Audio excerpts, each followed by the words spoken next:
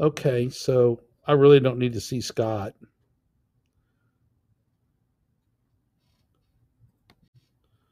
So my camera's turned off. Now to see Scott, what do I do? Talk me through this. What?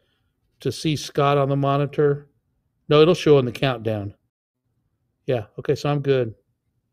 I'm not sharing anything, so I don't need the share screen. Do you have this set up the way you want it, or can I? Yeah, you see it enough, you hit that, hit that link in my sent folder. I've already done it. Did you share it or, or click on it? Okay, can't, there you are. All right, let me let, hear the audio. Test one, two, test one, two, testing one, two. Four score and seven years ago, our forefathers set forth on this continent a new nation conceived and liberated and dedicated to the ideals that all men are created equal. Crap, I got nine minutes. I can go to work on my desk. You're on air. Why is my mic hot?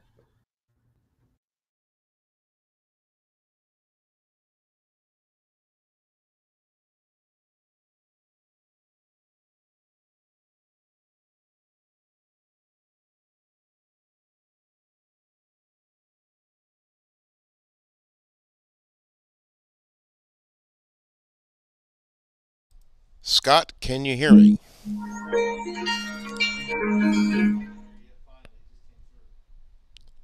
Hello, hello. I can hear you. Hey, Scott, can you hear me? Your microphone may be on mute.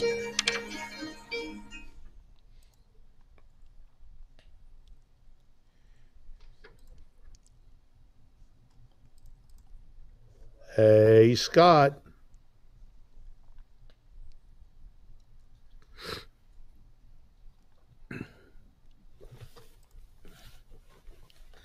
I'm trying to make this chair taller.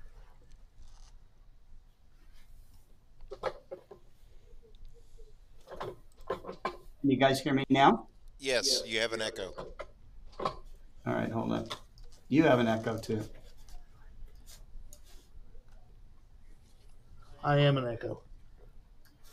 Of your former self. Oh, great. It came up a quarter, half an inch. You still hear me with an echo? Yes. It's not. It's more like a barrel, not an echo, from how I hear it.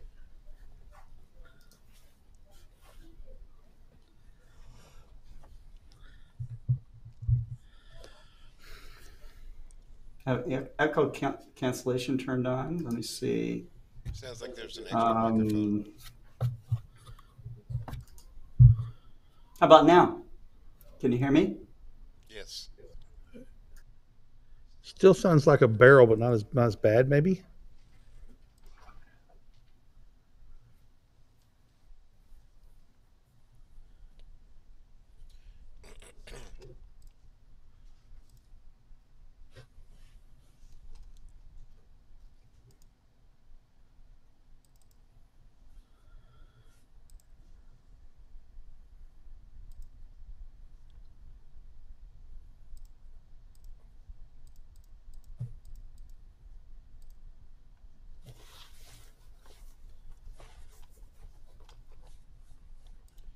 Try Scott.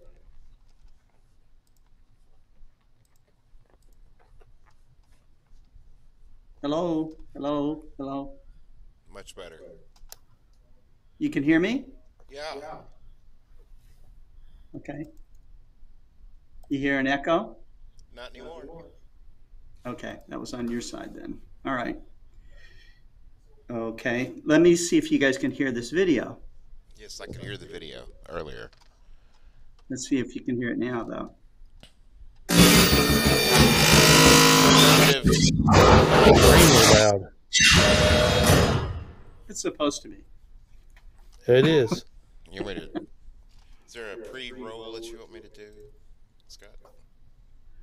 No, I just have the outros that I'll do. Okay.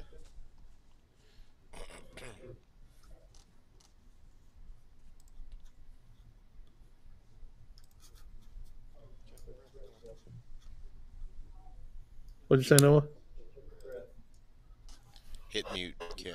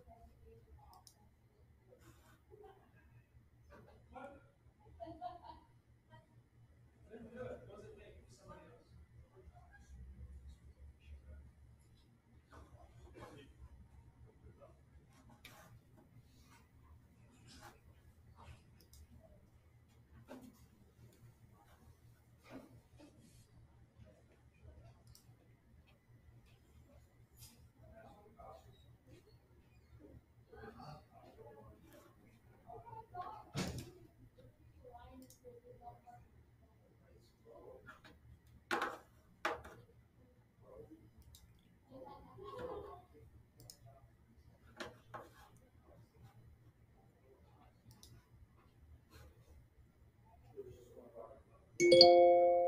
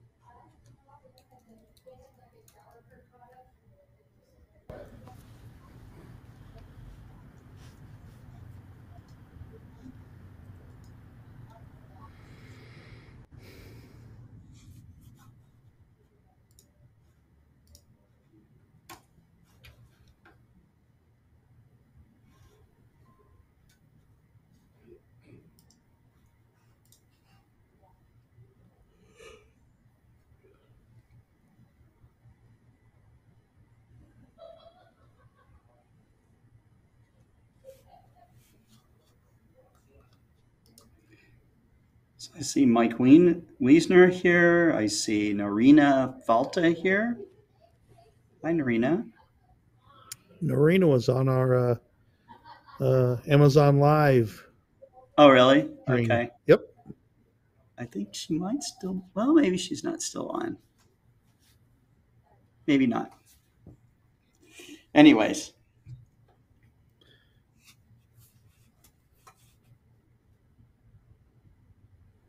So you all set to go there, Kent? Yes, sir. Cool. Well, set to go where? Live or northward? Everything. Not ready to go north yet.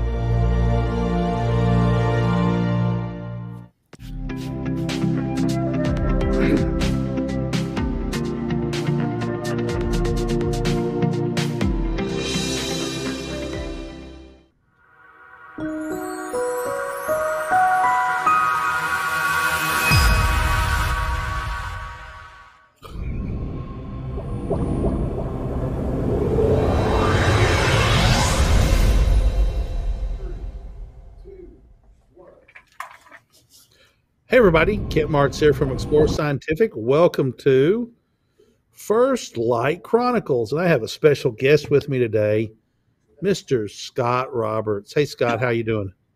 Fine. I don't know how special it is, but anyways, um, I'm good. I'm good. I'm still. You can see my hair still messed up. This is from uh, the hundredth Global Star Party. Uh, but uh, How, how long did you, how many hours did you go? Well, Facebook cut us off at eight hours. Okay, so we went past eight Ah. hours. Uh, I think we might have gone nine or ten hours of broad, solid broadcasting. So, you know, uh, thankfully YouTube hung in there. I think maybe um, you know Twitch and Twitter might have hung in there, but Facebook has a hard eight-hour cutoff. In fact, you look at it and, it, and on the stream, and it goes it was uh, actually eight hours and five seconds. They they shut it down. So, you know, sorry guys. It took five seconds. It took five whole seconds for the algorithm to flip you the switch. That's right. That's right. But we had an incredible lineup of like over twenty, and I think around twenty-five speakers, something like that. Um, and uh, it was just really fantastic. Um, you know. Uh, who, who, can I say that was on? I'll, I'll I'll read off everyone that was on on the show. Let's see. Um, It's a great go. list. This astounding list you put Yeah. together, Scott. it was David Levy, Seth Shostak from you know Comet Discover. David Levy, Seth Shostak from uh, SETI was on. Uh, the father of laser guided adaptive optics. That these this is the system that controls the uh, the way stars are presented to. Uh, a sensor um, by deforming a mirror uh, and having having a system that looks at uh, laser light scintillating off the ionosphere. Okay, and this corrects out the optics on these giant telescopes. Uh, that guy's name is Robert Q. Fugate. He was on. Um, Terry Mann from the Astronomical League. She did the door prizes, but she and we have some great door prizes that will be given out from that. Uh, but Terry Mann had her own program about seeing beyond. Uh, John Abbott College, uh, John Abbott College's um, uh, Professor Kareem Jaffer was on, and uh, um, uh, Lou Mayo is also a professor of astronomy. He was on. We had Charles Ennis, who is the president of the Royal Astronomical Society of Canada. He's also a famous astronomy author with over 20 books. He was on. Uh, Marcelo Souza from Brazil, uh, you know, professor of astronomy down there. Uh, Nicholas Arias, uh, Nico the Hammer is what we call him, and Nico was on as well, talking about Jay West. Uh, Norman Fulham, telescope builder extraordinaire of uh, the world's largest amateur telescopes. Uh, Norman Fulham was on, uh, and also sang two songs to us, which was really cool. Um, we had David Eicher, uh, editor in chief of Astronomy Magazine, Molly Wakeling from Astronomolly's Universe, who have been studying for a PhD and all the rest of that, and apparently achieved that yesterday uh, on the same day as the 100th Global Star Party, so it's awesome. Um, uh, Dan Higgins uh, from Astroworld TV, um, and uh, you know, um, you know, special guest also on that as well. Um, uh, you know, seeing or not seeing in the dark. Um, Chuck, I forget. I'm sorry. Uh, Jason Gonzell, The Vast Reaches. Daniel Barth from How Do You Know was on, also a professor of, of science and astronomy. Uh, Connell Richards, young Connell Richards was on. Uh, John Briggs, uh, world famous John Briggs, who does restores antique telescopes and all the rest of it. He was on. Uh, Cesar Brolo from Optical Optica Sirocco down in Buenos Aires was on his rooftop. Uh, Deepti Gautam from Nepal, Adrian Bradley uh, from Michigan. Uh, behind the curtain was Michael Carroll, who's a space artist, and uh, didn't he just wanted to hang out with us for a while.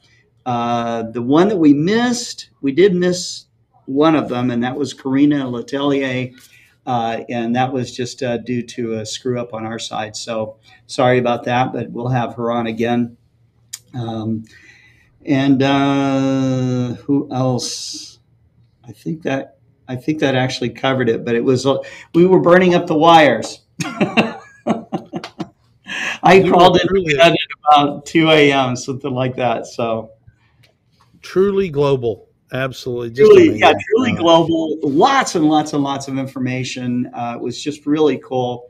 You know, a fire hose of information packed in just a, a few hours there. So So we've had comments. Mike Wiesner said howdy.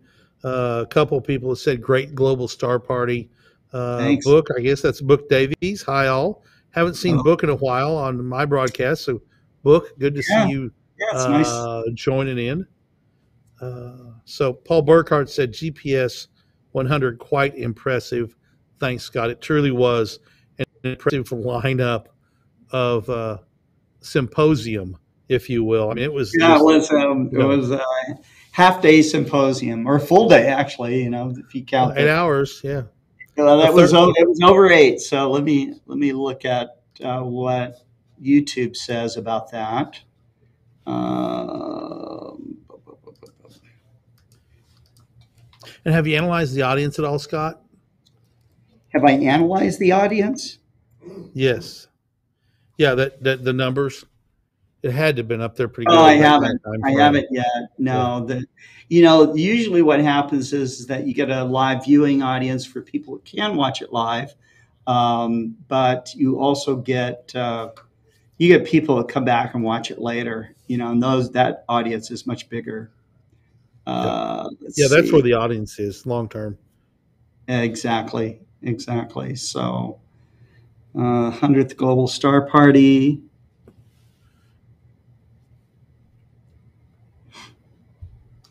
Uh, you started at two o'clock, two thirty, something like that. That was the early log. We actually started broadcasting at three. At three, okay. so Goodness, digging for the data, time it was. and, and and folks, you know, to put together that slate of people. I mean, there's there's people that Scott has on email saying, "Hey, we're doing this. Do you want in?" But then to get the people that aren't normal uh, part of the regular Global Star Party crowd, that takes a massive amount of work uh, and and legwork and time. And um, you know, he worked on that for three weeks, Scott, something like that. I mean, you put a lot of effort into putting that slate of speakers together. No, it's certainly certainly took a lot of time uh, to get it all done. That's for sure. Um, It's hiding from you. it is hiding from me. Oh, it was nine hours, nine hours, twenty five minutes and thirty three seconds is what it was. So I've been looking, Scott. I've been looking for my sun catcher Yeah. for uh, the TED 80, an old TED 80 that I used to take to star parties, and I think I found it just now. It looks Your like it's catcher? over your left. Sh- Yeah, my sun catcher solar Oh, filter. you need your filter. right? Your solar Yeah, I think. Nope, Just that's not it. That's not it, That's- right? That's because mine has foam inside of it already cut out to fit the telescope. So Right. I may be I may be taking that one with me, Scott, and You get can some take foam. it. Yeah, get some um, get some pieces for there. You'll probably want to, a you know a different um, frame or something like that. But that's Yeah, I, I'll get with have a new one made up. Yeah. So anyway, so uh nine hours. That's a that's a long day time. right there. Yeah, yeah, yeah. And it takes. That's It, that's you're, you're right. It does take a, a lot of time, but um, you know, I love doing it. Uh, I love the um, interaction. Uh, you know that the audience gets uh, from all of these people, and uh, it is. Um, you know, it's I. I yeah, I, I feel a duty to uh, to do it because it helps support the community that supports us. You know, so right. you know that's So- that's and Mike Mike Wiesner says Scott's also putting a lot of effort to line up speakers for the David H. Levy Arizona Dark Sky Star Party. Yes, Right. indeed, that's coming up in September. It's only seems like hours away almost sometimes. right. Uh, September 21 through 25 in Yes. Oracle, Arizona. Uh, you Yes. still got time to register. There's plenty of room. Uh, if you're going to come out, uh, Oracle uh, is embracing it. The town of Oracle, the Oro Valley Oh, Chamber of fun. Commerce, they're making it a community event, right? This is Yeah. Yeah, this is a This community true. event. There's there's going to be music. There's going to be art. Um, businesses are getting involved. Local businesses are getting involved in it. Um, when I say they're getting involved, they're going to have like, you know, little mini events all on their own. You know, uh, so there'll be places to go in town. Uh, one of them is a kind of a kind of a you know fun bar kind of atmosphere. So you can go to the watering hole, bar. so to speak. Yeah, that's right. You know, so uh, and hang out and talk about uh, you know the cosmos over a beer or something. So um, so going to be good dark skies. The weather should be Yep. good. Doing some bird yes, We'll do some bird watching. Uh, we're gonna. It's gonna be a good time. Uh, Jim Norwood. About 15 seconds after I logged on, the feed froze. Uh, sorry about that. Well, Jim, 15 seconds after you logged on today, Jim, or last night. Just curious which feed that was. So uh, that's coming up. We'd love to see you uh, join us there. It's real simple. Go to explorescientific.com and up in the search bar, type in Arizona Dark Sky and it'll pop up the page. Uh, $149 to register. And Yep. then that gets you access to all the events that we're putting on. And Yeah. then, uh, and then there's, gonna- that there's does community events that are free as well. So there's going to be things to do, literally for the whole family. You know, so if your family likes art, if they like, um, you know, the, the, desert scene, if they like, um, uh, you know, one of the places has like, um, uh, it is a what do they call that when you're, you know, you get into like this this uh, cable, you know, Zip line. It's, it's a Zip zip line. line. Exactly. They have a zip line thing out there that's really cool. I think it goes all the way to Mount Lemmon. Okay. So, uh, yeah. so, the, and they have a cafeteria restaurant kind of thing there, which is kind of cool. Um, Jim says, so- I reloaded and it works now. Yeah. Thanks, So- Jim. uh, for housing, there's Airbnbs. There's no hotels in Oracle. Clocus Yeah. Hotel Motel that type of thing is in a Tucson, 45 minutes away or an hour away, 45 miles away. Uh, so we have a Biosphere 2. Uh, you can reserve rooms or casitas Yeah. there through us. It's not a hotel. They call them casitas. It's they they are elaborate dormitories. Okay. Um, No, no, no towel service. Yeah. Yeah. However, No towel uh, it's nice. It's clean and uh, it's nice, and um, you know, and you'll be staying at Biosphere two, too. So how cool is that? You know, so Two, 10 minutes away from Oracle State Park. So very, very close as well. yeah, we So- promise not to lock you into Biosphere two for three years to see how you make out. But you know, Although, if you want to try and volunteer for it, I mean, I'm sure Arizona's looking for more volunteers. So, anyway, Arizona State, uh, University of Arizona. It's not Arizona State. It's University of Arizona. University of Arizona. That's runs right. that- runs The that. So, U of A. That's right. So, so you know, uh, if you want to dry camp, there's dry camping going to be available there. Uh, so you can't can't haul your RV. Uh, they don't allow that camping. Although uh, uh, Scott and you and I are going to have our RVs there as base camp. Basically, they're uh, making Yeah. an allowance for us, but that's about it.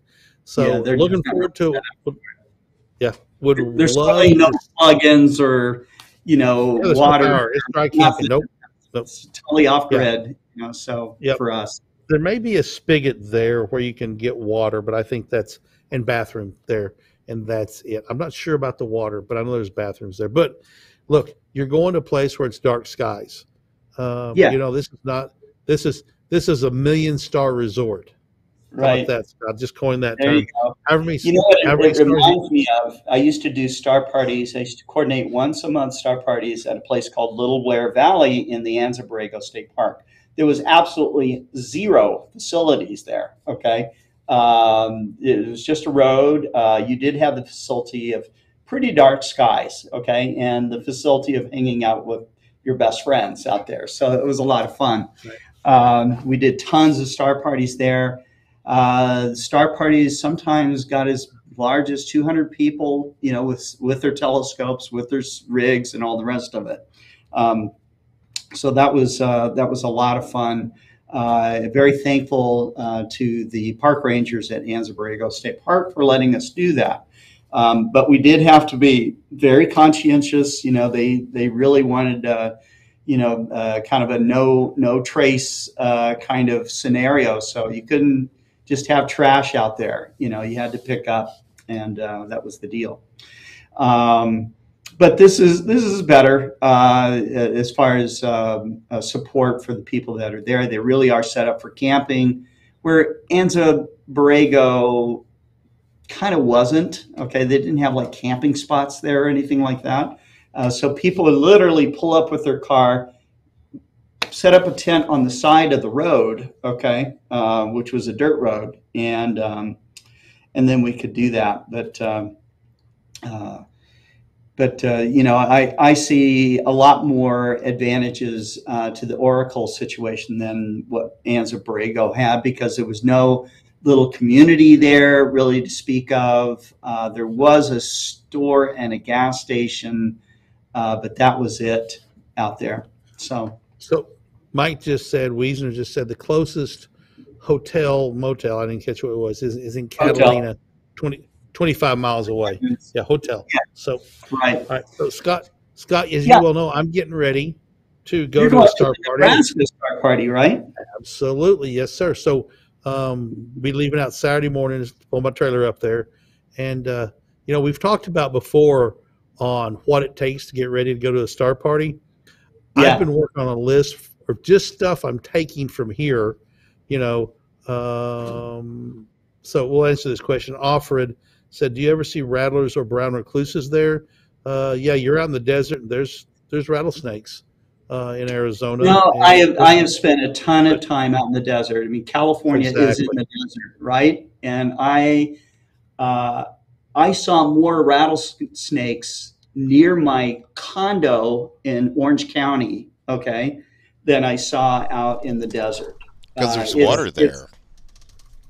there is water, but also too, you know, uh, animals like uh, that live in the city are more comfortable around humans, I think, than than uh, yes. real wildlife is. You know, so those guys are going to be hiding from you, okay, not waiting for you in the dark corner so they can bite you, but they really don't want anything to do with you at all. Okay, Right. so Right. uh, Both they're, they're sounds not going like to my have you for neighbors. dinner, you know. So if you're not dinner, they're not going to waste their energy, their precious energy that they have to save up Scott? for the moment that they can get something. Yes. Both both of those scenarios sounds like my neighbors.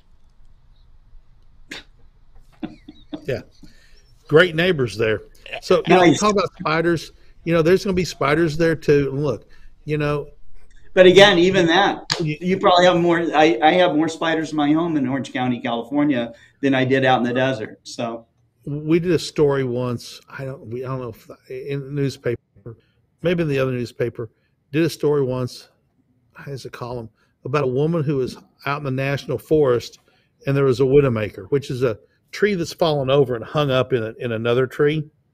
And she Yeah. called the Forest Service and asked them to send a crew out to cut the tree down because it might be dangerous and fall on people out in the middle of the national forest.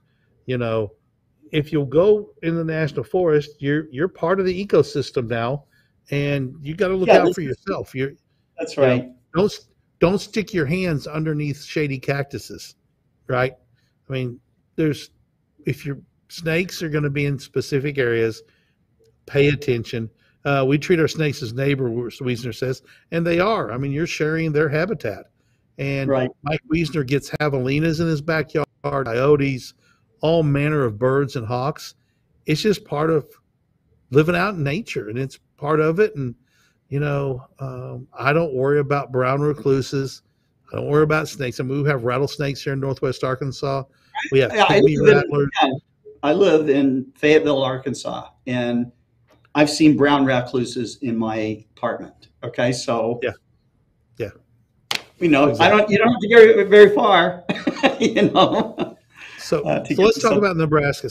Scott, I've started a spreadsheet writing down, you know, the stuff I'm taking, the stuff I need, the eyepieces I have, so that when I go to start loading the truck, I'm checking off everything that goes in because I don't want to miss anything.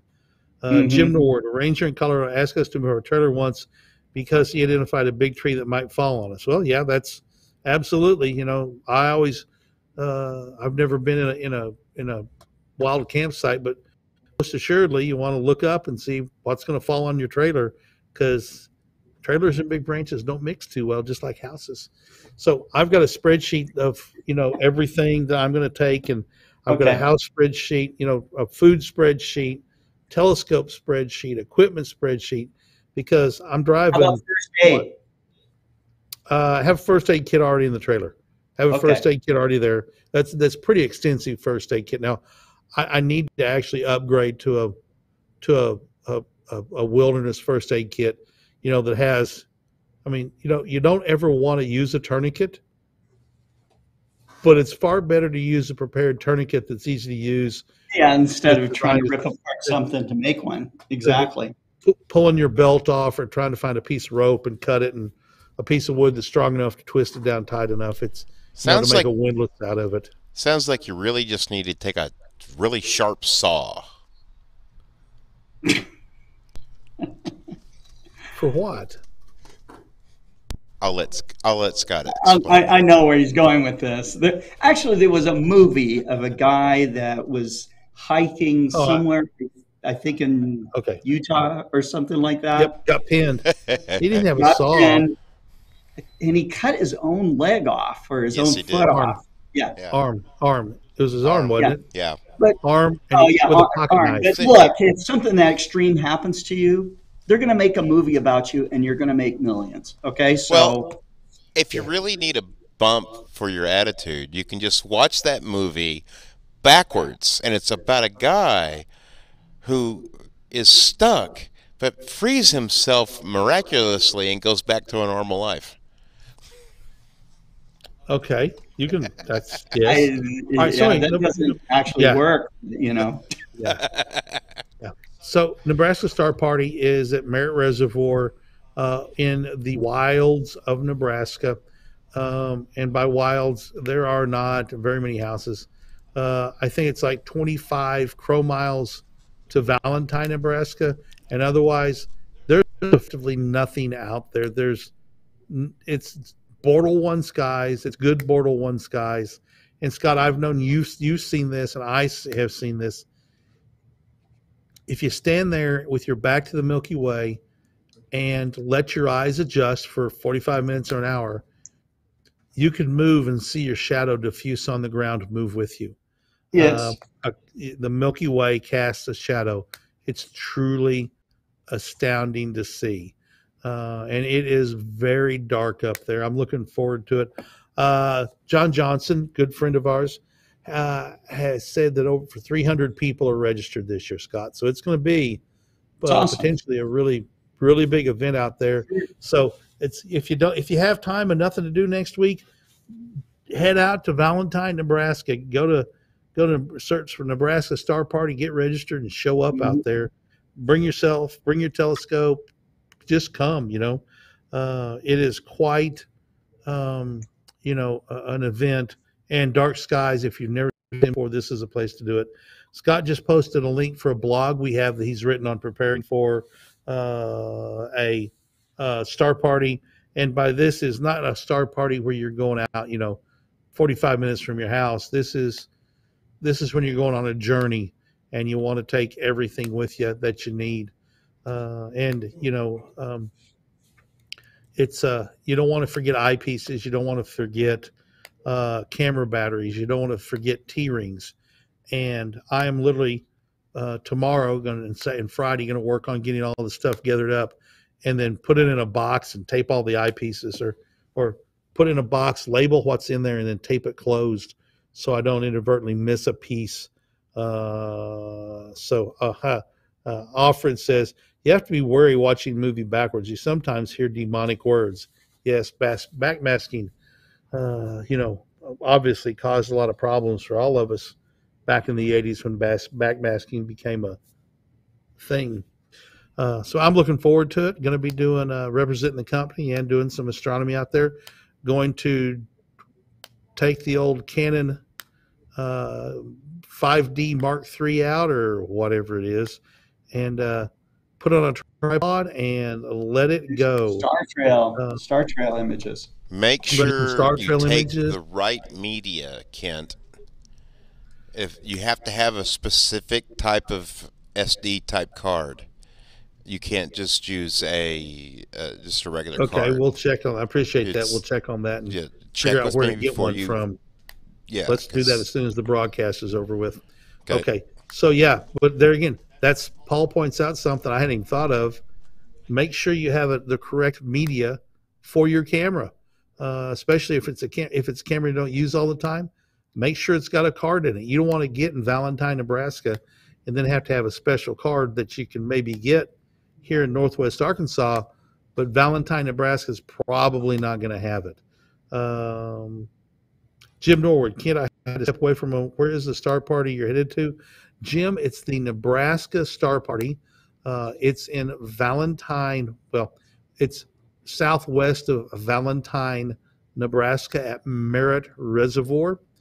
Uh, Mhm. interestingly, the reservoir, the campsite where all the viewing happens, is in the mountain time zone, but the dam, if I remember correctly, is in central time zone. Since most people coming to it uh, are from the east, they operate on Eastern time, although literally you cross the time zone line driving around the lake.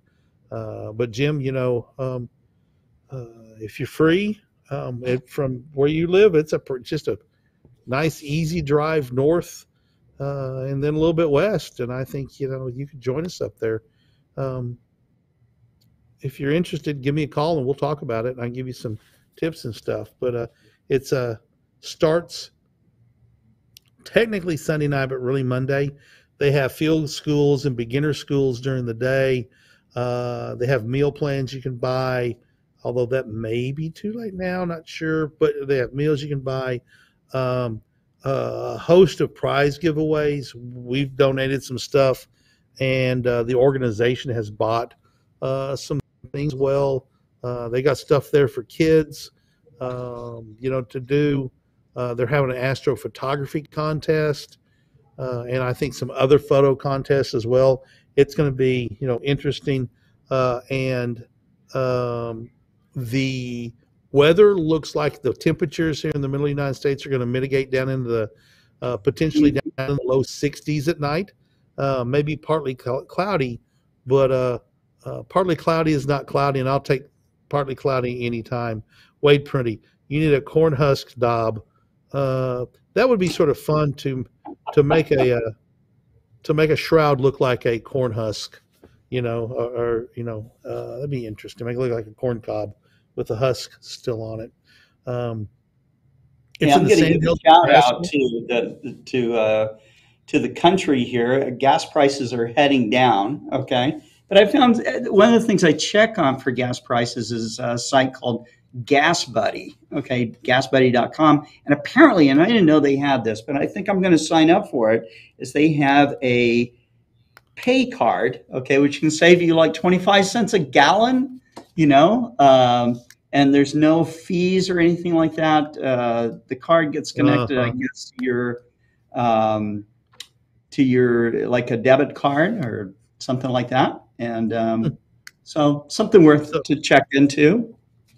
I know prices here in Northwest Arkansas are down in the 385, 389 range. Uh, 425 was about the most we saw here, but um, apparently, you know, farther west you get in big cities, it can get pretty spendy, uh, you know, and be pretty Fifty-one dollars to put gas in my car. Fifty-one bucks. A year ago, it was like twenty-two dollars. I have a Nissan Versa that uh, we are not taking to Nebraska because you can't pull a trailer with it. Uh, has an 11 gallon gas tank uh, and will go 350 uh, up. It's getting 35 miles to the gallon, so 350 to pushing 400 miles on one tank of gas. And boy, Mhm. it sure feels good to fill that up when it only, you know, it doesn't take long to fill up 11 gallons. Uh, you know, and you go, boy, that's a full tank and uh, but yeah, you can't pull an RV with that or a trailer, a travel trailer with it. So Very far you can't.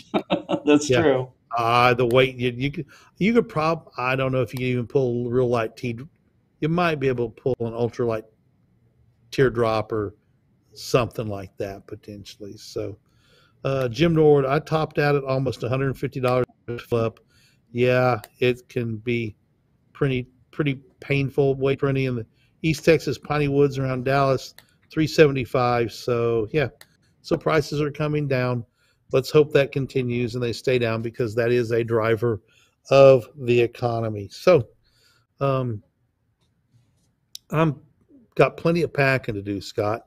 My wife's going with me to this star party. She's looking forward to it. Uh, last hurrah, last hurrah before Natalie has to go back and teach a whole new passel of kindergartners how to exist in a uh, organized environment, you know, a school. So there's many things that she gets to teach in the first couple of weeks that some kids have never had to experience before. So that's always interesting, and she's looking forward to that. I think it'll be her 37th year of teaching. Yeah. So anyway, that's what I've got to talk about, Scott. I've hit the end of my rope. The end of it. Not the end of my rope. My head. I was I didn't break my neck. I was going to didn't say break my I neck. hit the end of my rope like um, Yeah. six months ago. Yeah. something like that. Six months ago. Yeah, What is it like Oh, to right. be on the end of the rope? it's it's, it's a swinging good time. Yeah, it's Yeah, like he was having a Freebird, right? You're Freebird at that Yeah. point. yeah, you're a free bird if you. Yeah, you, want- you want to be, yeah, that's right. So Harold Locke says saw five dollars and fifty nine cents yesterday for regular. Harold, I think you're in California. Uh, when I was out in California a few weeks ago, I did see seven dollars a gallon out there. You know, so that was kind Uh, crazy. uh, Robert, the COO of the company, just got back from Denver where he was seeing went to see Tanner, and he Mhm. said gas out there was eight bucks a gallon in the Denver or in the Vail area. Uh, Yeah, but that's Vail. yeah. I mean, my God, you know, Yeah. it's probably Yeah, dollars a you gotta- gallon uh, two years ago. yeah, Uh, Yeah. You know, specialty places where rich people live and shop, they're going to charge more. They just do. Okay. Um, you know, you come out to uh, uh, here in Arkansas, Missouri, Mississippi, you know, the, the average wage is not that high and they adjust the prices accordingly. So, you know, if you're really angry about it, you might campaign with your congressman for a national gas price, okay, or something like that. But that would just be another way of kind of breaking down the uh, free Yeah, enterprise. if you're in, if you if you're in Vail, if you're in Vail, where you can have a meal for two and your ticket's four hundred dollars, you don't worry about paying for eight dollar gasoline. That's just that's just Yeah, how you might be mad about right there. So what? You know, Yeah. so Well, so what? Yeah. those cats you're- probably driving Teslas anyway. Yeah, they, those don't use fossil fuel at all. Oh, wait a minute. They do just off the electric grid. So, anyway. We burn. uh, Your car actually burns coal. Uh, it can does as as we convert to renewable resources that will change. But as uh, things go right now, If you're in your Tesla's Northwest probably Arkansas, burning coal. yeah, if you're Yeah. north, if you're in Northwest Arkansas, and you're driving an electric car, you're driving a coal burning car. Yeah. Just saying. That's- Now, if you're in Russellville, you're driving I a don't know, nuclear a power burning car. house. Yeah, You it's have a way coal better burning than house. A burning. coal burning house. You know, there's nothing I can do about it. So Yeah. I guess there you could have solar I mean- panels. There is. You know, Yeah. I mean, I could be like uh, Abraham Lincoln and use a candle for my light. You know. And Yeah. not have Also a television and don't use the internet and don't run all my computers and all my electronic gadgets. I could do that. But In other words, enjoy enjoy being blasted back to the Stone Age. Yeah. Highest price in California is it's Torrance. so bad, you know. So Yeah, I mean, you know, that off grid living, you know, you know, has a lot of you, potential. you- when we would go camping in Boy Scouts, you were a Boy Scout, Kent, right? right? I mean, we Absolutely. didn't have. So back in our day, we didn't have cell phones, we didn't have GPS devices, we didn't have all that stuff. You had a analog compass, right? You had a Boy Scout knife, okay? a paper Uh, a paper map that if you're lucky map. a paper max that was wax coated. We didn't have flashlights get with wet. batteries. We had flashlights with batteries, you know. Yep. And we had like a transistor radio if we wanted to listen to music or something. Transistor radio that ran off a nine volt battery. But Yeah, that was so the I can remember those. gadgets. I can remember being at Camp Orr, the scout camp here. That's along the Buffalo National River. Buffalo Yeah. National River is an international dark sky park. Camp Orr is inside the boundaries of the International Dark Sky Park, and I'm working with the council to uh, uh, get all of their lights there dark sky compliant. Uh, so Mhm. that's ongoing. And the reality is, most of them are going to get turned off because Scott, I said, half the half the camp, the latrines, which are literally pit toilet latrines, don't have electricity, and the other half do, and they have a light in each one of them. And I was like, so apparently the boys who use those down there find the latrine with no trouble, with no light on. So we can just disconnect, unscrew those four lights, and they're like, yeah, that's a good idea. And so uh, there's a lot of most of them are just going to get turned off. But anyway, I remember those kids going to summer camp, and they wanted their mama, and just cry and cry and cry. And no, you can't call your mama. There's no payphone. Uh, and it was, you know, it was hard on some of the kids. You, I'm sure you have experienced the same thing. And anybody that's been to summer camp, church, scout, band, whatever, boy, it's just some of those kids are I just remember I don't remember anybody crying because they were away from home and Boy Scouts. Uh, most of the time, we were just so thrilled to be out camping and you know just uh, have having a great time out in the woods. You know, so fishing, Yep. all of that. Yeah. So uh, rappelling, canoeing, backpacking, fishing, shooting guns. Wade back in the day, you didn't have to feed your vehicle hay and oats. Yeah. Thanks, Wade. Uh, my my son has some hay burners that they take to uh, riding parades and stuff. So absolutely, so they enjoy Hello? their horses. Oh, Scott's Hi. taking a phone call. So uh, anyway, if uh, uh, go to a star party, Yeah. know, find a place, and if you've never been to a big one, figure out a way to make it. Yes, Paulie. Can I, uh, I? I'm obviously going to ask a question, so there's that. Um, the question I have is where around in northwest Arkansas, for example, am I going to be able to see the Milky Way for when? I guess I, I, I can't go to Kansas City anymore.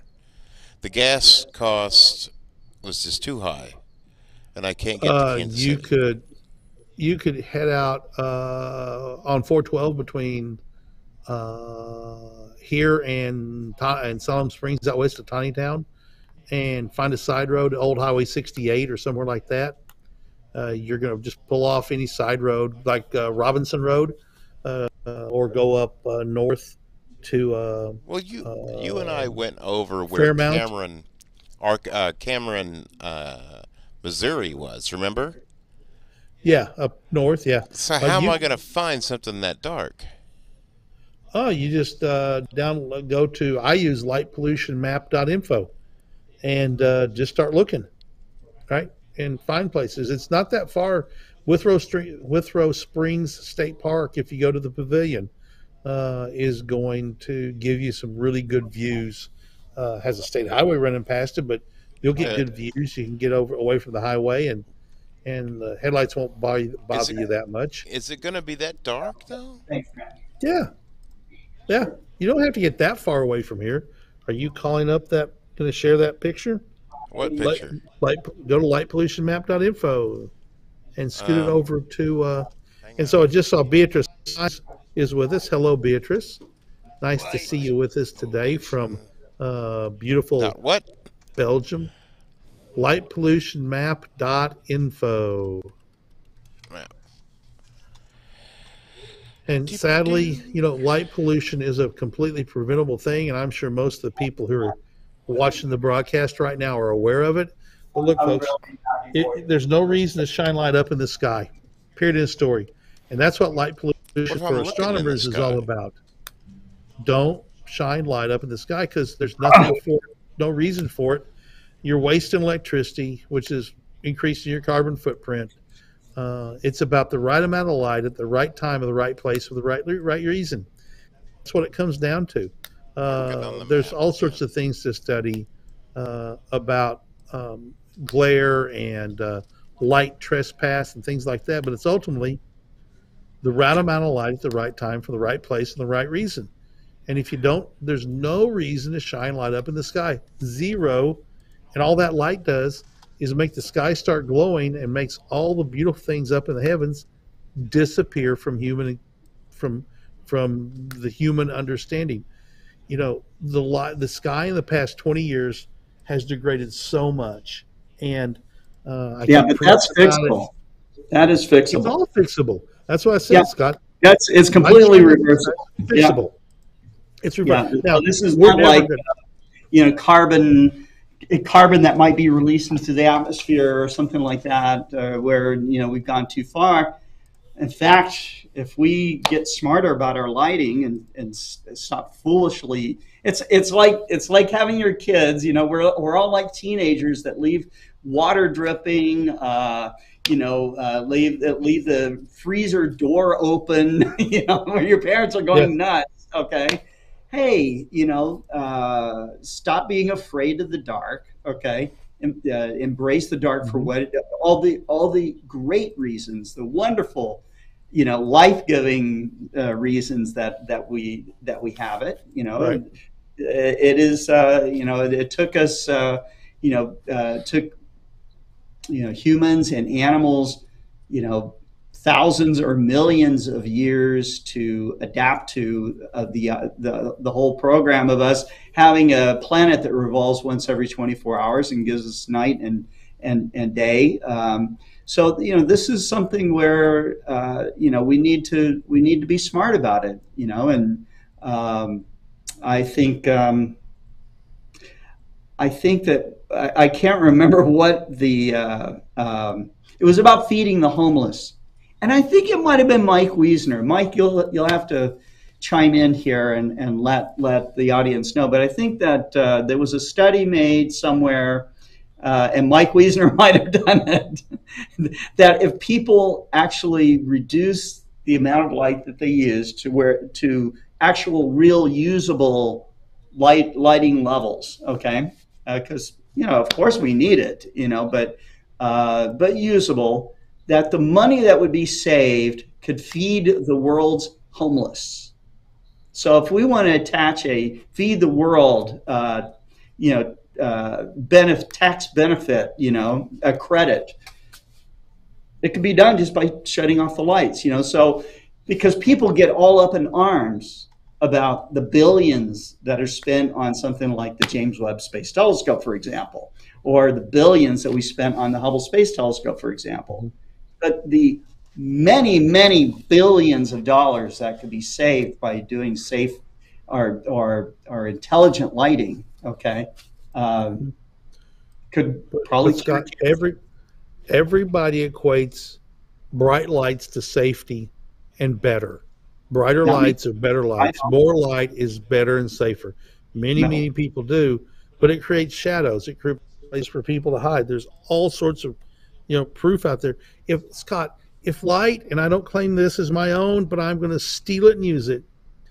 If light was an antiseptic for crime, there would be no home burglaries during the daytime. Yeah, When yeah. New York City wouldn't have any crime at all. Las Vegas wouldn't have any crime at all, right? Exactly. When when when do most home burglaries happen? In the middle of the daytime, where there's the plenty of light, right? Yeah, they need to see what they're They need to see what they're doing. I mean, So okay, let me, they let me need play light at devil's night. advocate for a minute. All right, uh, if I have uh, it's dark out and somebody's like hiding between two cars, all right, and then they run across the yard, okay, because I've got a big Merc light going on there, uh, and try to break into my house, then I might see them. Okay, I might see At them. two right o'clock in the morning. well, I'm probably asleep. It's true. Mm, If I hear Yeah. something and then I look out the Right. window, okay, then uh, and they're hiding in the shadow. away? No, they're hiding in the shadow.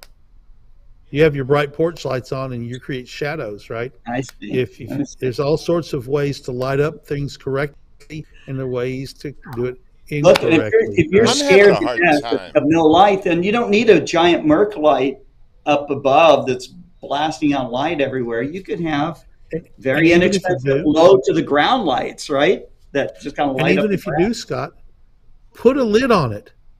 Just just put a shield on it so it's not shining light up in the sky. So all that light's going down the ground. Paul, you're about to make me sick, moving all I'm- over the greater I'm, Midwest. I'm having a hard time navigating this map. I was hoping that you would help me. okay, What you so what are you trying to find? I can't read any of the the names when I get close. Well, make it darker. First off, you have it too light. You've done something. Colors should be more brighterest. There we go. Okay. Well, Oh, we're That's looking at the light worse. pollution map. yeah. So well, what are you you actually trying to have to find, be on the map on your own computer, I think. Paul, what are you on? What are you trying to find? I'm trying to find Cameron, Missouri. Zoom out. Zoom out. Keep going till you find Kansas City. There's Omaha. It's just too. You so I scroll down. I can see St. Joseph. There's there's Kansas City. Cameron's okay. up here, up north of it. I can see Cameron right now. Where is it? Okay, just zoom in slowly. I I can't see anything on this map. Zoom in slowly. That's out. Keep going. Cameron's right there in the dead center. Keep going. Oregon, Kingston. Keep keep going. Zoom in. It's, it's right there in the middle. Keep zoom in. It's off the just off to the middle. Savannah. Oh, there's Cameron. See Saint. It's hard to see. It's halfway between St. Joseph and Chillicothe. So Winston. So where I What, was what's, going. what's special about this place, Ken? This is this is where I was going to go This is the lake where he shot some. before they decided to jack the gas prices up. But the Right, prices are like- now coming down, so you're good to go. Uh, no, it's not that low. There's Lake Viking. So this has got some light around it because there's people that live there, obviously. Uh, but that's Click on the- it. It's like the Click where the darkest marine is. darkest spot I've been to. And it's a Bortle class four. Okay. All right. So zoom back out. Okay. How far? till we can see Arkansas. I can't make it out half the time. This map's Stop. difficult for me. Stop. Go straight south from Kansas City till you I see the first big blob. now. That's Joplin. And then there's Fayetteville, Springdale, Rogers, Bentonville, Bella Vista right there. So keep going. Keep going.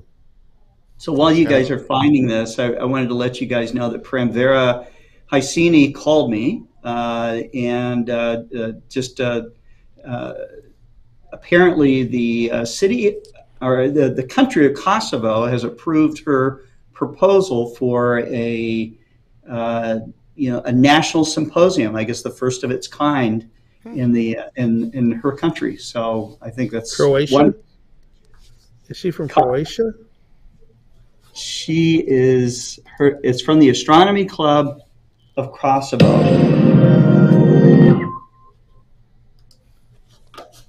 So Paul, see where Springdale is and 412. Go out there Yeah, west yeah. of. Go out there on 412, where you no go in the wrong direction. Go west. Yes, you want me to go to Siloam, but remember, I you go get to go out to Eureka Springs a lot. So, in fact, Well, you just ask for somewhere close. I'm trying to give you somewhere close that's got good skies. Go out west of Tontitown. Go west. There's Tontitown. Keep going. See those dark blue spots out there? yeah, There you go. That's it's right. out past Kansas. Ugh. No, it's not. No, Kansas, Oklahoma. There's a Kansas, Oklahoma. Yes, Yes. Five named minutes after away. three. Aren't we just like right up against the border between Oklahoma and Yeah, it's not Arkansas? that far. Forty-five minute drive. easy? I know, Yeah. but here I'm going this way. Or go down into the Buffalo River Valley, two hours I'm away. going over here. Oh yeah, look how dark it gets down here. Super dark. So there's If you go south, Berryville and Eureka. Keep going up to Holiday Island. Uh, that's Holiday Island, I know. and that's where I'm at. Bortle Four Skies. Where do Click I on the spot. Bortle Class Four Skies. Real similar. It's weird because I can't see the Milky Way like I can in Kansas City, outside of Kansas City. in Well, Cameron. because you're there's more general light pollution around close than there is. Oh, and But also again, too, the I Milky think, Way I is think not up Kansas City's drier is drier than Yeah. Arkansas is. There's a lot of you know, humidity in our could be, Yeah. yeah. So there's Yeah. all sorts of seeing the potential, the transparency of the sky, and condition of the sky. But you should be able to see the Milky Way down here. uh, from not very far outside of town, Paul. It's I mean, I I I go out every weekend to a place that's so dark that when in Bella Vista, which is what six fifty miles away, I Mhm. can see the lightning storms even through clear skies that are happening in Bella Vista, but I still can't see the Milky Way. Don't know what to tell you, Paul. It's, you should be Bortle class four. You should be able to see the Milky Way. Hmm. and a lightning bolt is really really bright. It is, but it's like sixty miles. Oh, away, you can see. miles. You know, I. You know, I, the that's the cool thing with radar today. You can see on your phone. You can get Yeah. the feed off National Weather Service and look at, and, and you can see a, a top of a cloud, you know, off to the northwest, and go, "Huh, I wonder where that is." You look up. It's over Wichita. You know, Yeah. and we're and we're in Northwest Arkansas. It's over Wichita, five hour drive away. Yeah, So, anyway, So- this is a really good map to to start finding places to go look for dark skies around you. It gives you some ideas. You know, and you can get out in the national Look at forest. this. Look But again, the there's problem you anything out face- here I could go to. Yeah, anything along the Buffalo River, S- Steel Creek, There's one. Bortle Class Four, the same place you as you're lit as you you're, you're out of Eureka. Find the Buffalo River, Paul. Good luck. Dude, you, you're not you're I not have really a hard good time with, with the- this map, man. You're It- not really good. I with can't hardly see it. Takes practice. That's why I was asking Kent, and he needed filler, so I thought I'd ask. Hey, I just ducked out for just a second, okay, to talk uh, up to Pranvera. Um, I knew that she was going to have exciting news, so I needed to take that. But um, That's too far away. I'm not going to go that far. are you guys working on the computer together? Yeah, he ran over here to do this. And I'm like, I'm I not see. go that far. Oh my gosh. How far away Well, you know, if you live in the city, you got to drive out to where it's dark. There's really just no other way to do it. So Huh? Listen to all that like echoey shouting back and forth. Sorry. Anyway, I was just trying to find something along the Eureka Springs route because that's where I'm going to be.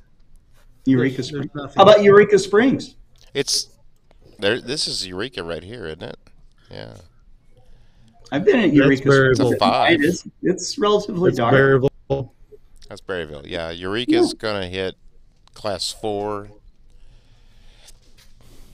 There's a lot of just Yeah, yeah. You don't want to ask pollution. Kent, Dark, Kent, Kent Martz about dark skies because he's going to want to take you out towards where it's Bortle one or two. Dark. Okay. Or it's the Bortle three. Truly, truly Yeah. inky black dark. Okay. So, um, you know, I mean, Steel- once steel you're there, the you're into those kind of skies, you'll go, oh my God, you know, you'll be Yeah. seeing the Milky Way like crazy. But, um, but you don't, you know, uh, I will also say that kind of what, wh- where you came out and observed with me uh, when I had my Airstream out at Marble, uh, Mhm. uh, Arkansas, and I we used to get fabulous uh, Milky Yeah. Way skies out there, and that's about forty-five minutes away.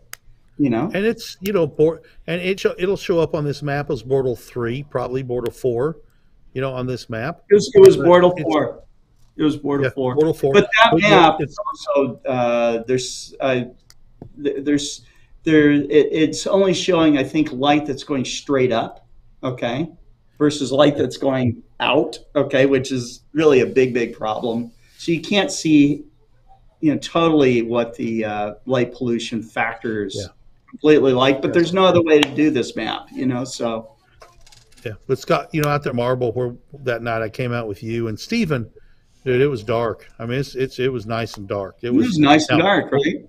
Was it was it in Nebraska or Oracle dark? No, but by golly, a forty-five minute away drive from downtown Springdale, it was pretty stupid nice.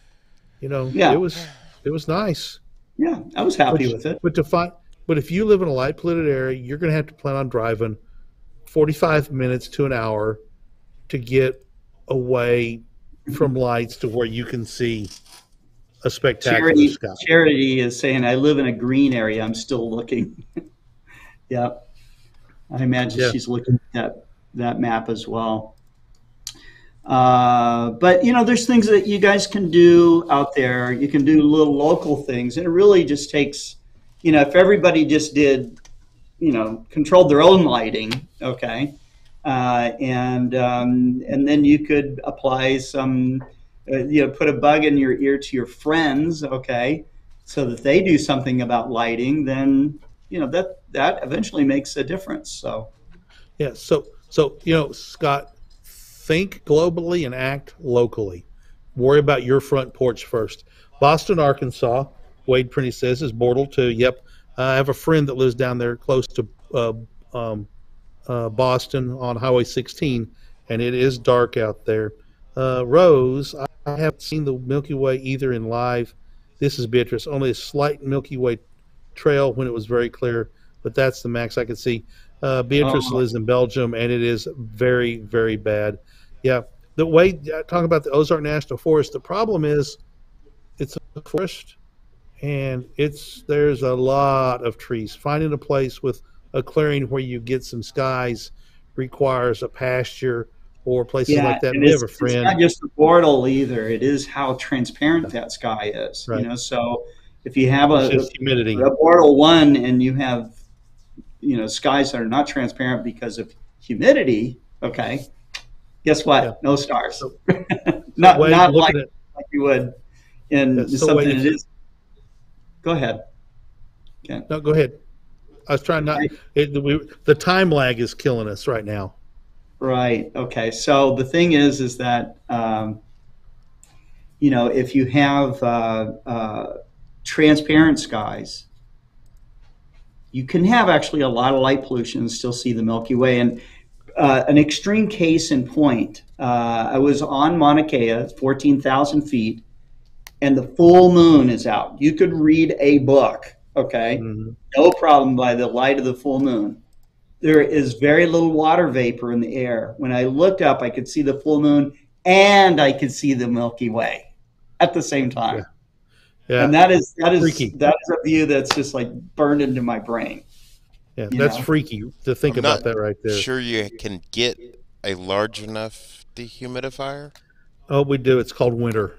It's called an Arctic front. I don't know, man. region. Winter here It's is a still wet. fantastic dehumidifier. So, a little, he, Wade was talking about um, um, Boston, Arkansas.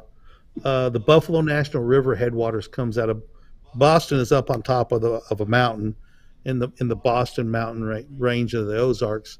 Uh, the Kings River, uh, the War Eagle River, the Buffalo River, Big Piney, uh, and the Mulberry River, all rivers that people love to canoe are great canoeing rivers, all come off of that same mountain. So uh, here in Northwest Arkansas, all of those rivers are uh, fantastic uh, canoeing rivers, and uh, they all come off of one single mountain. So, So I was out looking at stuff this weekend because I called Kent because I was like, "Where is this? Where is that? I can't find anything." And he's like, "Whatever, leave me alone." But so he helped me a little bit, but but every time we look through the telescope, and that's why I left Alfred uh, his comment up. Every time I look through the telescope, and if we were using like a 25, right? and we just waited, we could see a satellite whoop, right through mhm.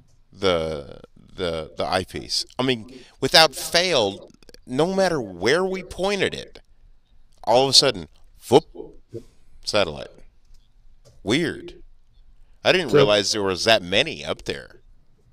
Alfred says with most satellites, imaging will soon be hit and miss. You know, the beautiful thing about imaging is from and talking to some of my friends who do a lot of it.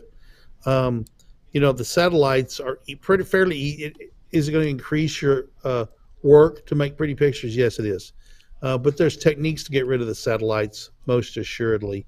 And uh, the cool part about them is, except when you're starting to do, you know, some deep in photography, visually they'll disappear the low earth orbit ones when they get in the shadow of the earth they disappear so if you're out there in early to mid evening after dark for a couple hours the Earth sun angle uh, allows a lot of reflection to come Yeah. onto the earth after those satellites get in the shadow you don't see those anymore.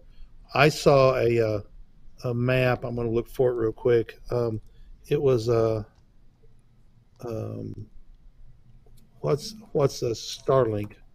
Starlink constellation map. Let me see if Oh can- yeah, Starlink. it's it's amazing. I need eyepieces, Wade, just for the fact that I just can't see through the telescope and focus without one. I, mean, I tried, but it's very blurry. Uh, I'm not set up to share screen. I just realized that. Um, so, um, uh, Paul, search your Starlink constellation map.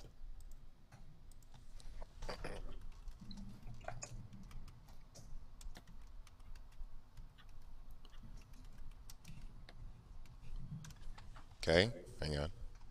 Pick pick one of those. Well, it's got to find it first. It's not working. Starlink constellation map. Starlink. Constellation map. It's phonetic, Paul. Yes. The the Google Earth wasn't, or the Google machine wasn't working that great. The Google. It's machine. amazing how many satellites. The Google machine. Okay, let's grab this copy.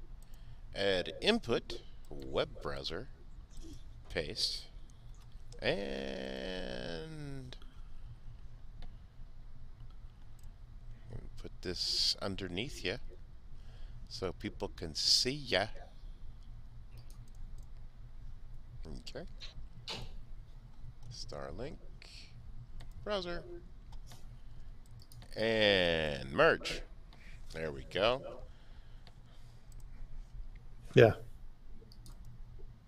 That's astounding. How many there are? Let's go to the United States. That's what I'm Or- doing. So there we go. There's, or let's go to Europe. Let's see where Beatrice lives and see what Starlink looks like for her in Belgium. Why don't you just make it difficult, Ken? All right, here we go. There you go. So look at that train over Africa. If you, this is real time. See them moving. Yeah. That all those that are in a row. Yeah. Those satellites have were just uh, ejected, and they haven't dispersed to their parking orbits. Interesting. Yeah. So anyway, Look at that. How about that? Over Saudi Arabia. Yep, those are just ejected, and they're going to be moving in their parking orbits. It's interesting that they're allowed over China. Yes, I, you know, it's amazing. Because China government would have no control over that. Why is that? I mean, they can't shoot them down. They just they could they probably could block access to it. So anyway, Yeah. all right, we're after five o'clock. I got to start getting ready. I got to start. Why do we have up. them out in the middle of the ocean? That's what I want to know. Because they're in orbit around the Earth. They're not in geosynchronous orbit. Oh. They're all low Earth orbit, so they're not out in space where they around. appear to stay over the same spot. They're all moving in um, uh, This is, these are Starlink satellites. Yes. Mm, Each one of these is a Starlink satellite. So let's go move over and let's see what Northwest Arkansas looks like. That's what I'm doing. Because I have discovered that. We do not have one. yeah, we do. There's There's one the that's one down getting by ready across the Dallas, border. Or for, There's getting ready across the border yeah, right there. That one. oh, that green one that's going across. yeah. Yeah. Oh, there you go.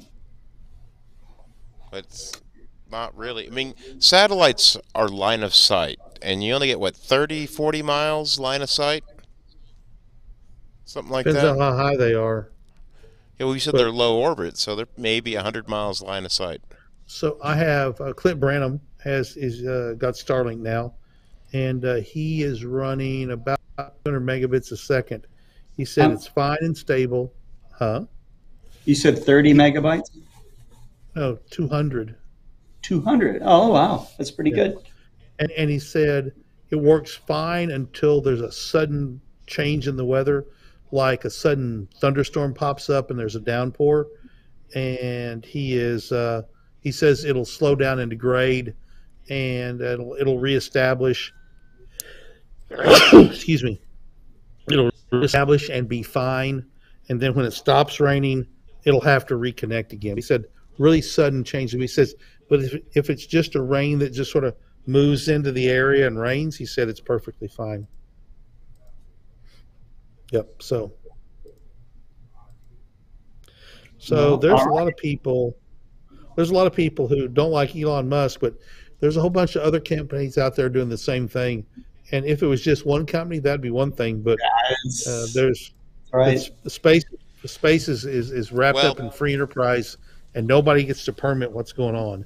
The, know, uh, so The one thing about it, though, too, that you have to think about is the people in very rural areas, or like northern Mexico or North Africa, or even in Saudi Arabia. You would think it would be easy to get internet in Saudi Arabia, but it's not because of the geographic issues that they have.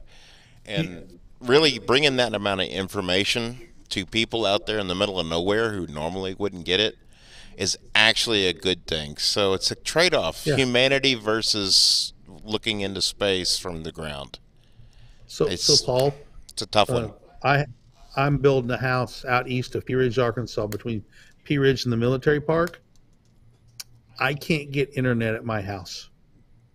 There's no internet provider at my house. Starlink. I can get. That's the only answer. Uh, there's there's copper pairs, a copper pair available that I can tap into. You know what speeds I would get at best? 10 megs. Two. Ugh. Yeah, and I'm not. I'm not. I don't live in a crazy rural area. I mean, I, I I'm a mile Yeah. from the city limits. It's not like I'm out in rural Ozarks. You know? Information is king to a better society and a better world. The more That's we true. get, the better people are going to be off. Yep. All right, time to roll. Uh, Thank you very thanks much. for joining me. Thank Hey, you. and everybody, hey, and everybody out there that's joined us, thank you for blessing us with your time. I truly feel blessed when people ask questions and and and have this community that we've gotten. Uh, I truly enjoy it. I will be on tomorrow at 1.30 with On the Wing, and then we'll roll into Amazon Live, and then Annie will have the four o'clock broadcast for Explore Alliance uh, Mhm. update. Friday will be uh, She's- focus on she's- astrophotography. But yeah. A- Annie is uh, putting together a special presentation too. So Ooh, So that- okay. it's great. Can, Yeah. can you tease us on what it is? It's uh, tune in to no, I'm not out. even going to do that. It, I, I think that they're going to like it though. So Uh, tune in to find out. Okay, and then Friday I'll do focus on astrophotography at 1.30, and then Tyler Okay. will do his version of that at four. So, and I'll be out next week.